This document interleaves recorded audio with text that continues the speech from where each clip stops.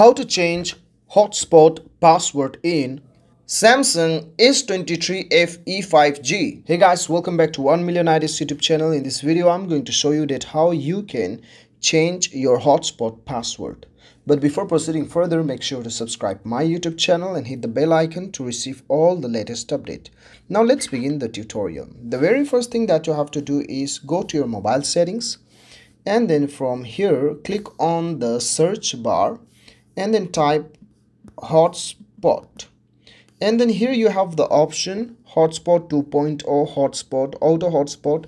You simply have to click on the uh, hotspot and uh, tethering or simply click on the mobile hotspot. And then click here. And then after clicking there if you want to come here then you can simply swipe down your status bar and then just click and hold your hotspot and then it will take you here okay? So this is the shortcut way.